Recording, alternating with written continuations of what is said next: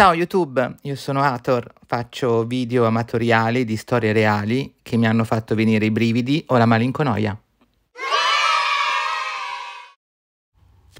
Da Nascia Prandi al baffo, che fine hanno fatto le vecchie glorie delle tv locali?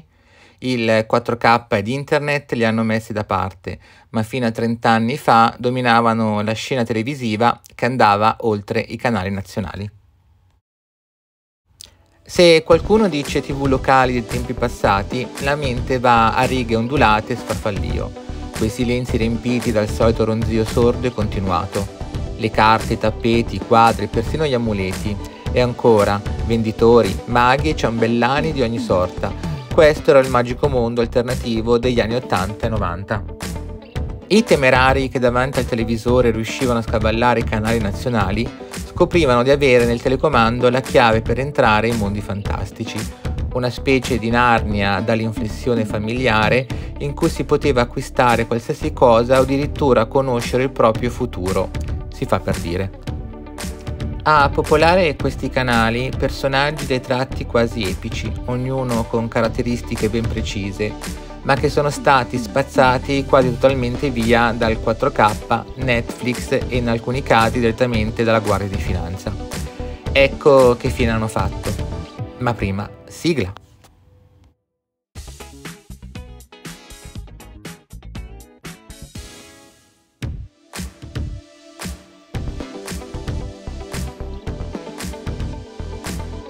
Se tutti sappiamo che fine hanno fatto più o meno personaggi come il divino Telme e Vanna Marchi, a cui fra l'altro fu dedicata una serie Netflix proprio qualche tempo fa, si conosce un po' meno il destino dei loro colleghi. Il più illustre è Roberto da Crema, a cui spetta l'onore e l'onere di aprire questo viaggio.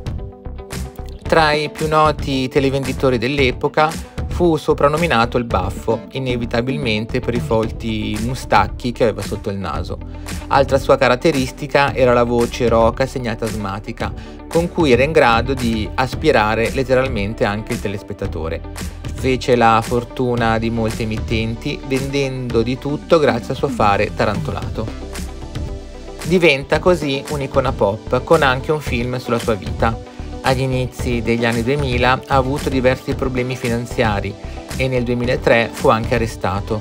Tuttavia, la sua cara TV lo ha riportato davanti alle telecamere. Dopo aver partecipato ad alcuni reality, infatti continua ad essere ancora oggi ospite in diversi programmi televisivi Rai e Mediaset.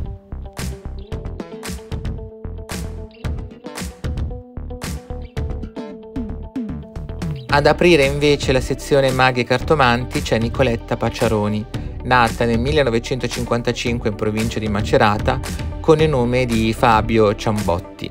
Dopo una breve esperienza nel mondo dell'art, inizia con un uomo una relazione travagliata che la porterà a spendere una fortuna proprio cercando conforto nei maghi dell'amore in tv.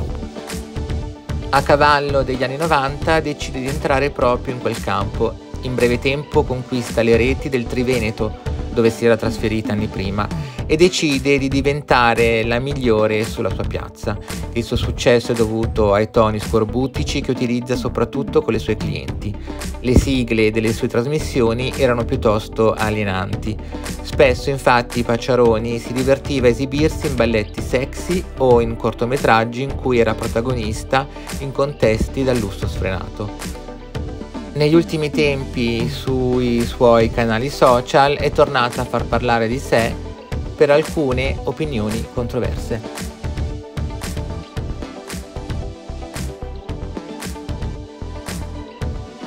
Pierre, la sultana, al secolo Pietro Imperato, era una cartomante televisiva attiva sin dalla metà degli anni 90 nelle tv private del Lazio le sue trasmissioni erano particolarmente grottesche, sia per il linguaggio scurrile utilizzato dalla cartomante, sia per gli sfondi che si alternavano alle sue spalle.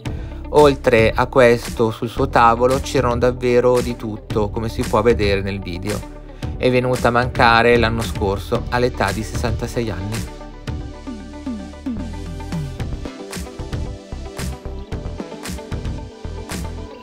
Cartomante paragnosta sensitiva di Antenna 3. Dopo una vita passata davanti alle telecamere, fra Milano e Monte Carlo, Nascia Prandi è morta nel 2017. Tuttavia la sua memoria è ancora molto viva. Solo pochi mesi fa, infatti, i suoi video sono tornati virali su TikTok. Il motivo? Basta ascoltare una delle sue mitiche telefonate in tv, un mito assoluto.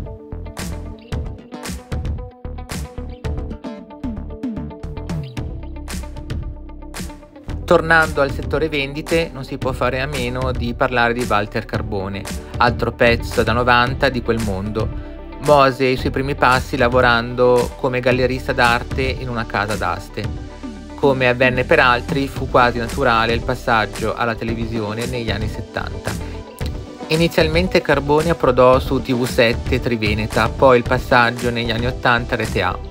Il suo spazio delle televendite, come spesso avveniva all'epoca, diventava una sorta di show con ospiti talvolta importanti come per esempio Nilla Pizzi. Successivamente ottenne le luci della ribalta grazie alla sua collaborazione con il mobilificio Iazzone.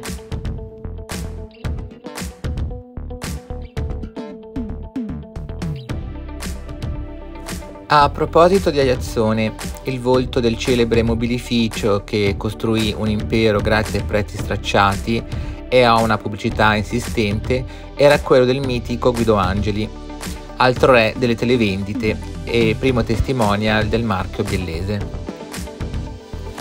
Fu lui a pronunciare tormentone provare per credere, Angeli, morto nel 2008, inizia la sua collaborazione con Rete A nel 1983. Il suo spazio era dedicato a una rubrica in cui parlava dell'oroscopo. Due anni più tardi presentava una trasmissione intitolata Accendi un'amica.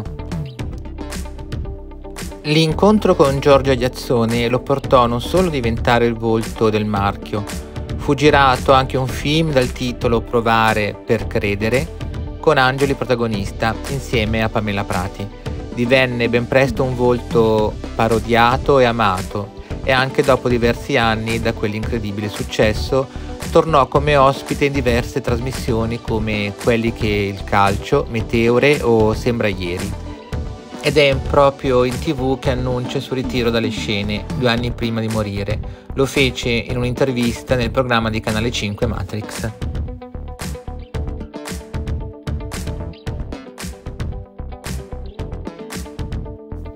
Altro personaggio proveniente dal mondo dell'arte è Francesco Boni, conosciuto anche come Franco. Fu una delle colonne di telemarket agli inizi degli anni Ottanta. Le sue televendite erano caratterizzate dalla sua indimenticabile remoscia e da uno stile sempre euforico. Le sue doti nelle vendite dei quadri vennero addocchiate anche da Corrado Cuzzanti, che lo prese a modello per ideare il personaggio del televenditore, apprezzato nel programma L'ottavo nano.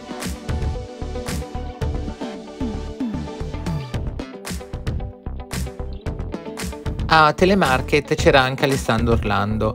Oggi lo vedete in qualche meme qua e là tra TikTok e Twitter ma anche lui fu lanciato dalla rete commerciale celebre negli anni 90. Grazie al suo eloquio forbito è stato protagonista di vendite incredibili in quel periodo grazie ai suoi gesti plateali. Lanciava piatti d'argento, si tuffava a terra e abbracciava le statue che vendeva.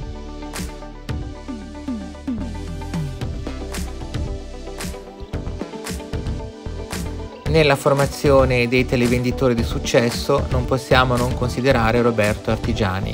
Impeccabile nella sua presenza e nella parlantina, Artigiani si è specializzato nel tempo in attrezzi tecnologici.